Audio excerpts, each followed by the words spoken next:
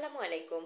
আজকের recipe chicken cheesy pasta আর আজকের এই পাস্তাটি যারা একবার বানিয়ে খাবেন, আমার মনে হয় তারা আর কখনোই রেস্টুরেন্টে যেয়ে পাস্তা খাবার কথা ভাববেন না।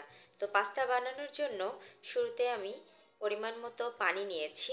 আর পানিটা হচ্ছে চুলায় দিয়ে একটু টবক হওয়া পর্যন্ত অপেক্ষা করব।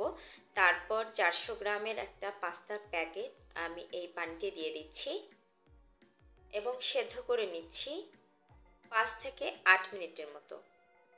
আমি পুরোপুরি সেদ্ধ করব না, শুধুমাত্র আশি পার্সেন্ট সেদ্ধ হলেই আমি এটা পানি ছড়িয়ে নেব। পরবর্তীতে আবার আমরা যখন সব কিছুর সাথে মিশিয়ে রান্না করব, তখন আরেকটু বাকিটা সেদ্ধ হয়ে যাবে। তো এ পর্যায়ে আমি পানি ঝরিয়ে নিচ্ছি। এবং এখানে একটু সয়াবিন তেল দিয়ে দিচ্ছি। আমি এক টেবিল চামচের মতো সয়াবিন তেল দিয়ে সব কিছুর সাথে মিশিয়ে নিচ্ছি। মানে পাস্তাটির সাথে মিশিয়ে নিচ্ছি। এটা মেশানোর কারণ, যখন পাস্তাটি ঠান্ডা হয়ে যাবে, তখন যেন একটি পাস্তার সাথে আরেকটি লেগে না যায়, ঝরঝরে থাকে। এ পর্যায়ে আরেকটি প্যান চুলায় বসিয়ে দিয়েছি এবং সেখানে দু টেবিল চামচ পরিমাণ সয়াবিন তেল দিয়ে নিলাম। এ পর্যায়ে দিয়ে দিচ্ছি এক কাপ পরিমাণ পেঁয়াজ কুচি। একটু হালকা নাড়াচাড়া করে তারপর দিয়ে দিচ্ছি রসুন বাটা। আপনাদের কাছে রসুন কুচি থাকলে আপনারা রসুন কুচি দিয়ে নিতে পারেন। আমি এক টেবিল চামচ পরিমাণ রসুন বাটা দিয়েছি। দুই তিন মিনিট ধরে একটু এটা ভেজে নেব। ভেজে নেবার পর আমি দিয়ে দিচ্ছি চিকেনের টুকরোগুলো। আমি দুইশো গ্রাম হাড় ছাড়া চিকেন টুকরো করে নিয়েছি। এবার এই টুকরোগুলো আমরা ভেজে নেব এর সাথে। যতক্ষণ না পর্যন্ত সাদা হয়ে আসবে এই চিকেনের টুকরোগুলো, ততক্ষণ পর্যন্ত আমরা অনবরত এগুলো ভাজতেই থাকব এই রসুন এবং পেঁয়াজ কুচির সাথে। যখন দেখতে পাবো এগুলো চিকেনগুলো সাদা হয়ে গেছে, তখন আমরা বাকি ইনগ্রিডিয়েন্টসগুলো এখানে মিশিয়ে নেব। এ পর্যায়ে দিয়ে নিচ্ছি আমি ক্যাপসিকাম কুচি এক কাপ পরিমাণ। আমার কাছে ফ্রোজেন করা ক্যাপসিকাম কুচি ছিল, আমি সেটি দিয়ে নিচ্ছি। আপনাদের কাছে নর্মাল থাকলে আপনারা নর্মাল মিশিয়ে নেবেন। দিয়ে দিচ্ছি টমেটো কুচি হাফ কাপ পরিমাণ। এটিও আমি ফ্রোজেন দিয়ে দিচ্ছি, আপনাদের কাছে নর্মাল থাকলে নর্মাল দিয়ে দেবেন। এরপর যে লবণ দিচ্ছি, আমি এক চা চামচ পরিমাণ, আপনারা আপনাদের পরিমাণ মতো দিয়ে নেবেন। কাপের চার ভাগের এক ভাগ পরিমাণ টমেটো সস দিয়ে নিচ্ছি। ব্ল্যাক পেপার বা গোলমরিচের গুঁড়ো দিয়ে নিচ্ছি। এক চা চামচ পরিমাণ। একটু স্পাইসির জন্য আমি বেশি পরিমাণে দিচ্ছি। আপনারা যারা ঝাল কম খেতে চাইবেন, তারা আরেকটু কম দিবেন। এবার লাল মরিচের গুঁড়ো দিয়ে নিচ্ছি। এক চা চামচ পরিমাণ। এটিও ঝাল কম খেতে চাইলে আরেকটু কম করে দেবেন। এ পর্যায়ে সবগুলো একসাথে মিশিয়ে খুব ভালোভাবে কষিয়ে কষিয়ে আমরা রান্না করে নেব। ততক্ষণ পর্যন্ত, যতক্ষণ না তেল উঠে আসবে। আর এই কাজটি আমরা মোটামুটি হাই হিটে করার চেষ্টা করব। এবং অনবরত নাড়তে থাকব যাতে করে নিচে লেগে না যায়। আমার তেল উঠে এসেছে, মোটামুটি রান্না প্রায় শেষের দিকে। তো এই পর্যায়ে দিয়ে দিচ্ছি অরিগানো আমি এখানে এক চা চামচ পরিমাণ দিচ্ছি। এবার আবারও সব কিছুর সাথে অরিগানোটা মিশিয়ে নিয়ে তারপর আমি এটা চুলা জাল অফ করে এক সাইডে রেখে দেবো। এবার আমরা হোয়াইট সস রেডি করে নেব। হোয়াইট সস রেডি করার জন্য আমি আবার একটি প্যান অপর একটি চুলায় বসিয়ে দিয়েছি।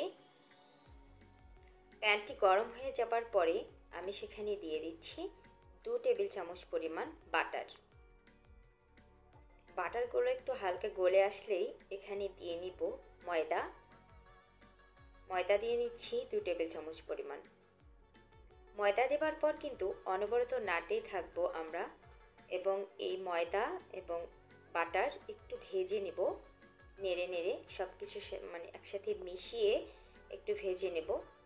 দু, এক মিনিট ভেজে ভেজে রান্না করার পর আমরা এখানে মিশিয়ে নেব লিকুইড দুধ। তো আজকে দুই কাপ পরিমাণ লিকুইড দুধ মেশাবো। তো এ পর্যায়ে দিয়ে নিচ্ছি দু কাপ পরিমাণ লিকুইড দুধ। দুধ দেবার পর কিন্তু অনবরত নাড়তেই থাকতে হবে। কোনোভাবেই নাড়ানো স্টপ করা যাবে না। কারণ নাড়ানো স্টপ করলেই কিন্তু এই ময়দাগুলো গুটি পেকে যেতে পারে। তখন এই ক্রিমটা মসৃণ হবে না। তো ক্রিমটা পুরোপুরি ক্রিমি ভাব আসা পর্যন্ত অনবরত নাড়তেই থাকতে হবে। দেখুন ক্রিমি ভাব এসে গেছে। এ পর্যায়ে দিয়ে দিচ্ছি হাফ চা চামচ পরিমাণ গোলমরিচ গুঁড়ো। আপনারা আরেকটু ঝাল কম খেতে চাইলে আরেকটু কম দিয়ে নিতে পারেন। আমাদের হোয়াইট সস কিন্তু একেবারে রেডি এ পর্যায়ে সব কিছু একসাথে মিশাবার পালা। তো এবার আমরা চিকেন এবং আমাদের রেডি করে রাখা পাস্তা এবং হোয়াইট সস সব কিছু একসাথে মিশিয়ে নেব। জালটা কিন্তু হালকা আছে রাখব। তো এ পর্যায়ে আমরা চিনি মেশাবো। আপনারা যারা এই যে পাস্তাটাকে একদম রেস্টুরেন্টের মতো বা তার চেয়ে বেশি স্বাদের পেতে চাইলে অবশ্যই কিন্তু চিনি মেশাতে হবে। চিনিটা অ্যাভয়েড করলে কিন্তু টেস্ট পুরোপুরি আসবে না। তো এ পর্যায়ে আমি চিনি দিয়ে দিচ্ছি তিন চা চামচ পরিমাণ। আপনারা এর চেয়ে বেশি খেলে আরেকটু বাড়াতে পারেন চিনি। তো চিনিগুলো মিশিয়ে নেবার পর আমাদের পাস্তা মোটামুটি রেডি শুধুমাত্র চিজ দেবার পালা। তো আপনাদের কাছে চিজ থাকলে চিজ দিয়ে নেবেন আর চিজ না থাকলে চিজ ছাড়াও কিন্তু পরিবেশন করতে পারেন। তাতে স্বাদের খুব বেশি, অনেক বেশি হেরফের হবে তা নয়, মোটামুটি ভালোই লাগবে। তো আপনাদের কাছে, আপনারা যারা চিজ দিতে চাইবেন চিজি খেতে চাবেন, তো সেক্ষেত্রে অবশ্যই চিজ অ্যাড করবেন। আমি এখন মোজারেলা চিজ অ্যাড করব। তো মোজারেলা চিজগুলো আমি গ্রেট করে নিচ্ছি। গ্রেট করে নেবার পরে আমি বেক করে নেব ওভেনে আপনাদের কাছে ওভেন না থাকলে, সেক্ষেত্রে আপনারা একটা চুলায় একটি হাঁড়ি বসিয়ে নেবেন এবং হাঁড়িটি যখন গরম হয়ে যাবে, তখন বাটিটি হাঁড়ির ভিতরে বসিয়ে দিয়ে একটা ঢাকনা দিয়ে ঢেকে দেবেন, তাহলেই চিজগুলো মোল্ড হয়ে যাবে, একদম রেডি হয়ে যাবে। তো দেখতেই পাচ্ছেন, আমাদের পাস্তা কিন্তু পুরোপুরি রেডি হয়ে গেছে পরিবেশনের জন্য। আজকে আমরা যে চারশো গ্রামের পাস্তার প্যাকেটটি রান্না করেছিলাম, সেটি আমাদের দশ জনের জন্য দশ বাটি হয়েছিল। তো কেমন হয়েছে? আমার মনে হয় আপনাদের অবশ্যই ভালো লাগবে। আপনারা অবশ্যই এটা বাসায় ট্রাই করবেন এবং আমাকে কমেন্টস করে জানাতে কখনোই ভুলবেন না। কারণ আপনারা কমেন্টস করলে আমার অনেক বেশি ভালো লাগবে। আমাদের রেসিপিটি ভালো লাগলে লাইক দিবেন শেয়ার করবেন এবং আমাদের চ্যানেলটি সাবস্ক্রাইব করে আমাদের পাশেই থাকবেন।